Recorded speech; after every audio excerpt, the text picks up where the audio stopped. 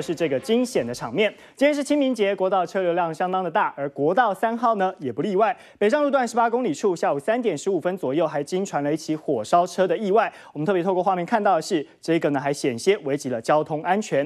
原来是一辆大货车呢突然窜出了火苗，加上金止易燃的关系，火势相当惊人。所幸驾驶紧急停靠路肩，并且迅速扑灭了火势，才没有酿成更大意外。接着透过 UDN TV 的独家镜头，直击惊险一瞬间。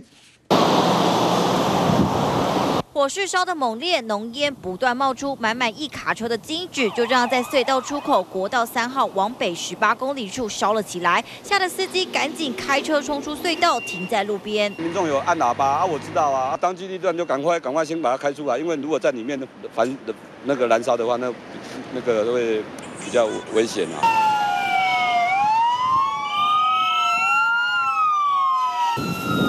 那上面有火生灭啊！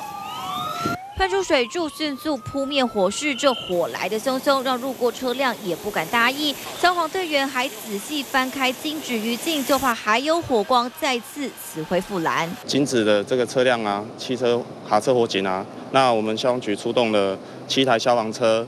一台救护车以及警消二十人来前往抢救，那派遣时间大约是在十五点十五分左右。金纸燃烧的灰烬跟着风势卷起，漫天尘埃。原来这大货车在下午两点多从福德公墓出发，准备前往焚化炉集中燃烧，却没想到民众拜拜时落下的零星火花附在金纸上，一个路途的闷烧在三点十五分左右窜出火苗，就这样在卡车上烧了起来。香没有熄灭，然后。